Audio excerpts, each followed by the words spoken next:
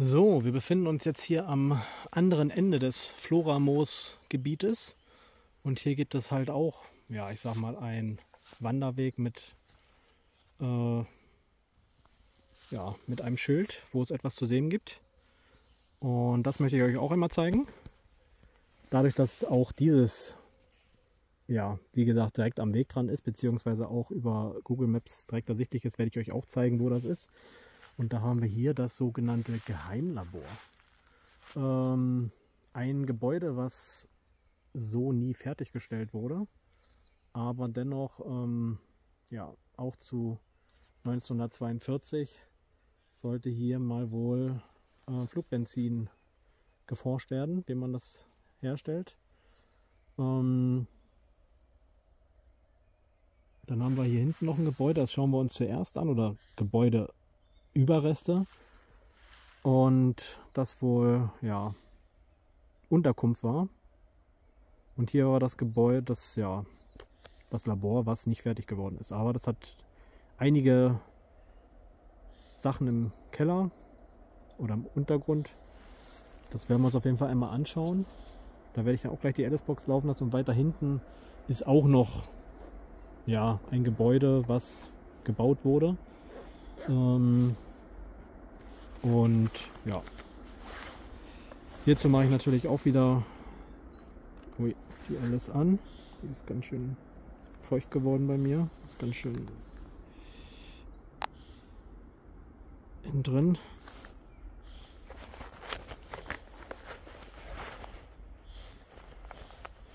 So, und dann gehen wir mal. So, ich habe jetzt mal einen Cut gemacht, beziehungsweise musste ich gerade versuchen, die Alice-Box wieder heile zu kriegen, weil die gesponnen hat. Und ja, irgendwas ist damit. Ich weiß nicht, ob es Feuchtigkeit ist oder nur vom Runterfallen. Das muss ich mir mal genauer anschauen. Daher geht das jetzt ohne Box weiter. Vielleicht noch nur die Batterien alle. Merkwürdigerweise, dass es dann irgendwie komplett entzogen hat, das Ganze. Aber nicht so schlimm. Das kriegen wir auch so hin. Ja, ich gucke trotzdem ein bisschen hier drauf. Mal gucken, ob wir irgendwas haben. Energien, die sich hier bewegen könnten. Ansonsten haben wir hier das schöne ja, Gebäude, was zu dem Labor gehört. Ziemlich lang. Man sieht hier noch so ein bisschen Fundamente. Ähm, einzelne Räume, würde ich jetzt mal sagen. Ähm,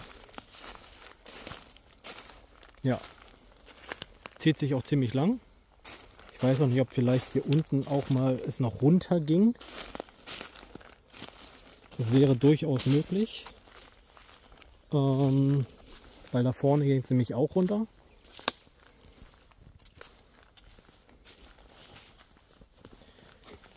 Und ja, haben dann da so kleine Bereiche.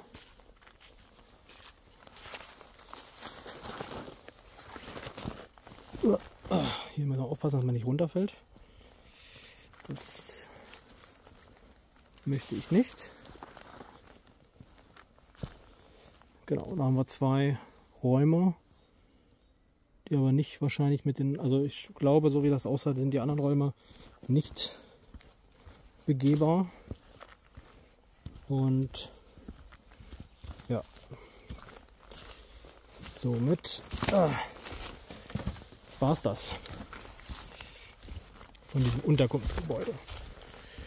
So, dann mache ich jetzt noch mal einen kurzen Cut und dann sehen wir uns gleich beim Labor wieder. So, machen wir weiter. Jetzt haben wir das Labor. Kam gerade ein Fahrradfahrer vorbei.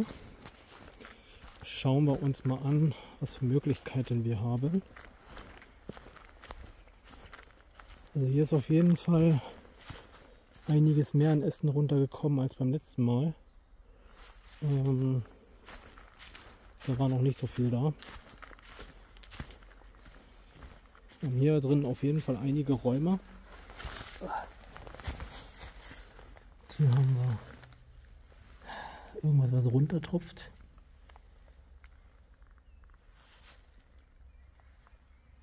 Das tropft hier an mehreren Ecken runter, wenn man das so an den Decken sieht.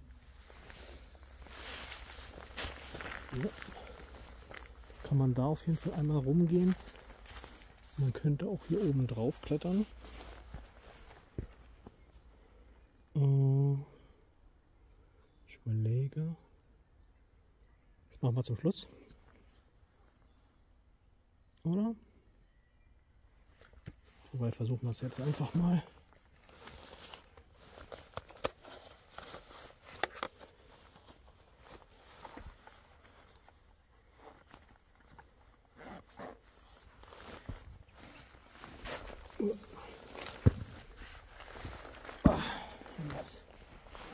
So, gucken wir uns das Ganze von oben an. Tatsächlich war ich hier oben bisher noch nicht.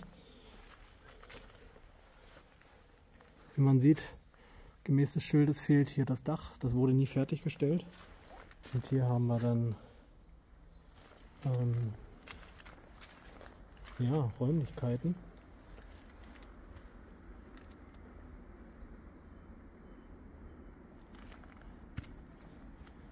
Matsch.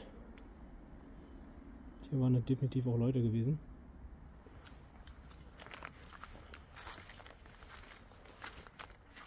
Man sieht ja auch Spuren von Leuten, die herumgelaufen sind.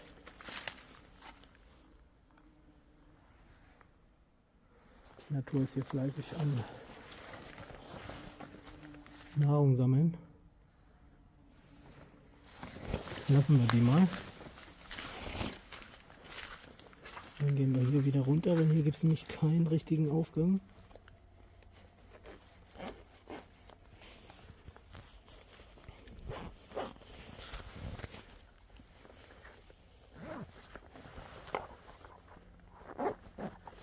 Ich hätte schon gerne interessiert, was die Alice hier zu sagen hat.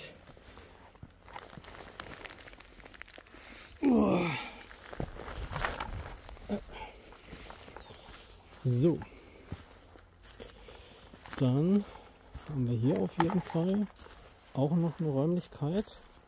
Man kommt hier auf jeden Fall auch da unten zum Teil rein. Ja. Ich überlege, machen wir das, probieren wir das. Ähm, sieht nämlich alles sehr glitschig hier aus. Da geht es auch lang. Ah, da komme ich vielleicht wieder hoch.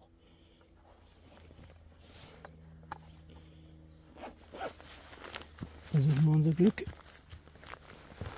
Oh.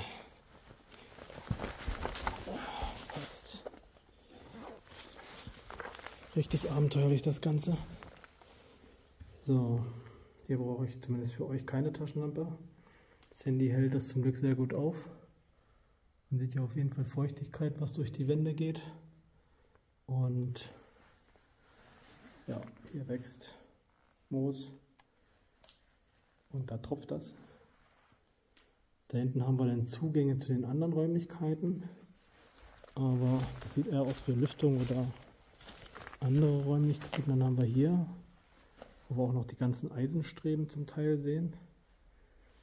Äh, ich glaube, das war's, was wir von hier aus begutachten können.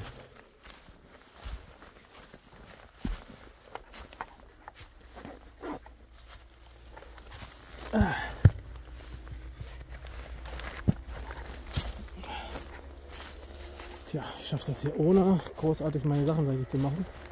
Ich bin begeistert.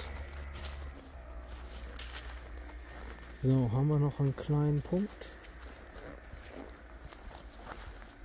Denn in die Räumlichkeiten, die wir von oben gesehen haben, kommt man, wie man anhand der Bierflaschen gesehen hat, auch rein.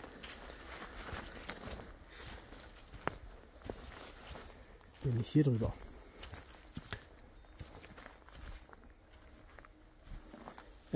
Definitiv waren hier in letzter Zeit auch noch Leute. Boah.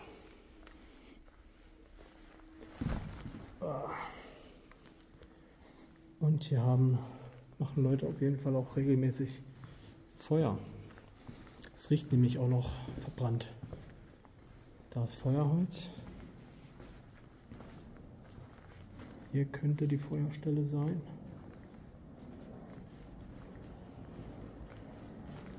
Oder hier.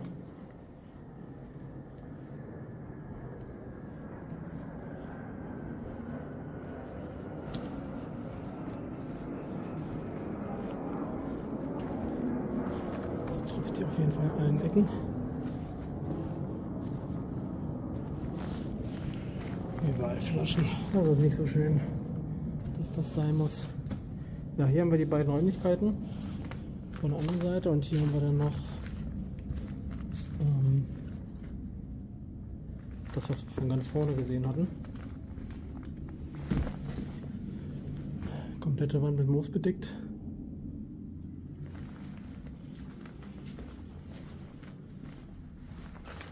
Und dann haben wir hier noch einen kleinen Bereich mit Holz, mit Erde.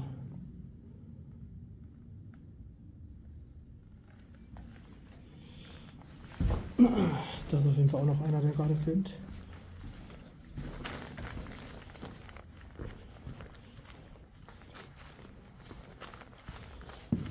Ja, das war es auch schon zu diesem Bereich hier.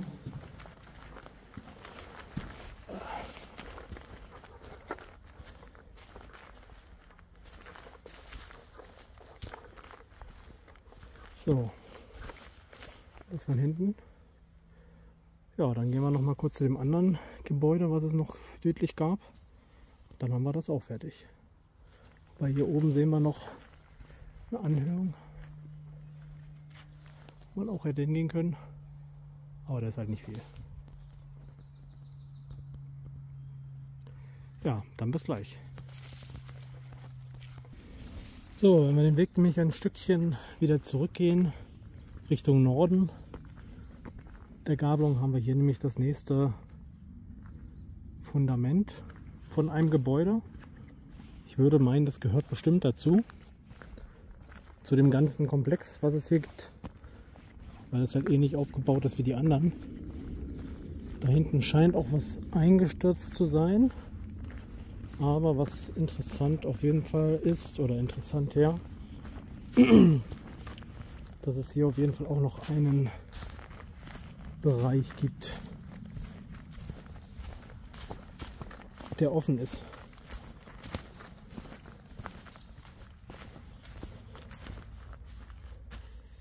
Bei der Aster war letztens noch nicht da.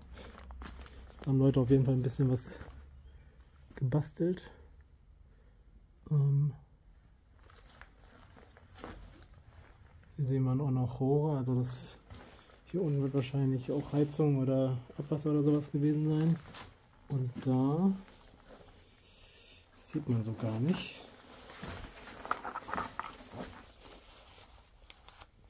Ja gut, da ist Erde.